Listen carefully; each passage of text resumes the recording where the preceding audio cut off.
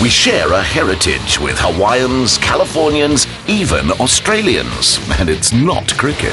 As South Africans, we always find ourselves drawn to the ocean in some way or another. For some of us, it becomes more about passion than pleasure. One of these people is international surfing champion Jordy Smith, and if there's anywhere I'm going to find him, it's on the beach. As you'd expect from the son of a man who shaped boards, Jordy grew up with surfing in his DNA.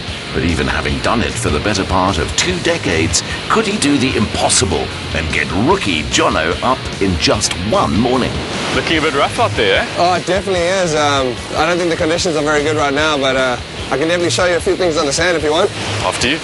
Well, yeah, let's uh, kind of do a little demo on the sand right here. I'm a total beginner, so start right from the beginning, eh? Okay, perfect. Well, I'll just kind of show you the, the pedaling motion and then the standing up motion and see how we go. So you got to pretty much lie, obviously, like that.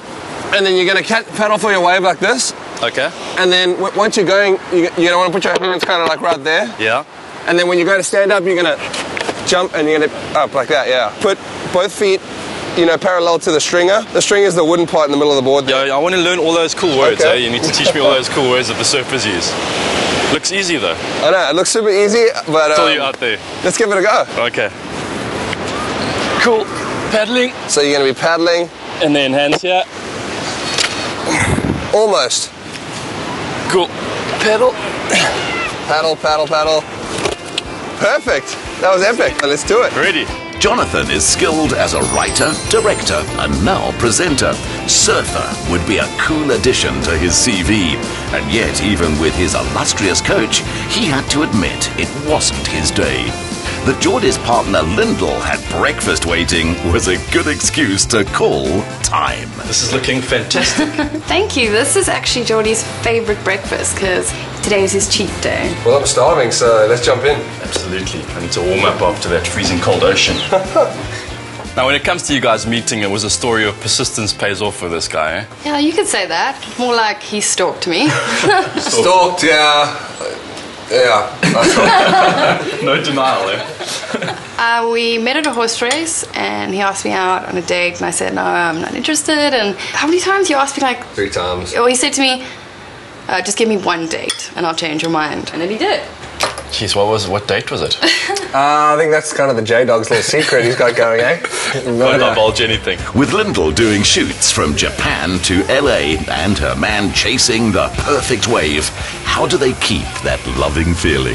When I travel, I like to be as comfortable as possible, and uh, having Lyndall with me makes me extremely comfortable, and I found that that way I get my, my best results. Yeah, and he goes off and he serves like it's his training, and I go off and I go exploring, and then we see each other at the end of the day, and it works. I mean, if you can travel together, you can do anything together. If Jordy's family saw tough times growing up, then it's made him famously generous with his own good fortune. And here's where he plays open house. This is the man cave, eh?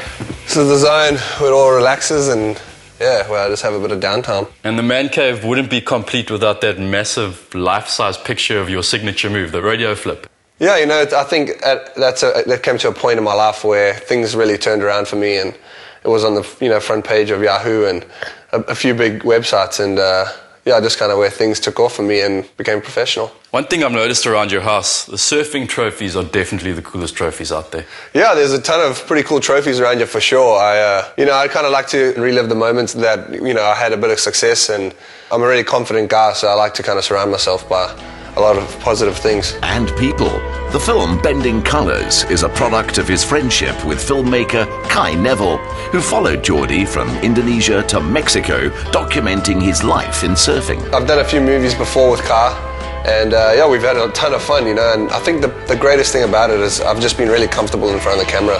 And yeah, it's just some great cinematography, some amazing shots, and really scenic places. So uh, I just kind of really hope that the crowd enjoys it. Preparing for opening night, Lyndall tried not to add to the two years it took to complete the film. Isn't the female in the relationship supposed to have the most shoes? Not in this relationship. I love shoes, but no one loves shoes more than he loves No, shoes. they're literally spilling out of the closet. They are now traveling across our room. He's definitely got the problem. They had almost as many guests as Jordy has pairs of shoes, all gathered in Granger Bay ahead of a highly anticipated premiere. You guys are looking well. Jordy, I don't know, you look the same. Lin- Lyndall, you look fantastic. Thank you very much. It took a while, but I got there. I've done, it took me a couple of hours to do this this look. There's a really special story behind the title of the film. Yeah, well, kind of just bending colors. What it means to me is that uh, just kind of the bending of the wave and and all the colors in a wave. You know, uh, the shapes of waves and um, It's that emotional connection you have to there's surfing. an emotional connection for sure.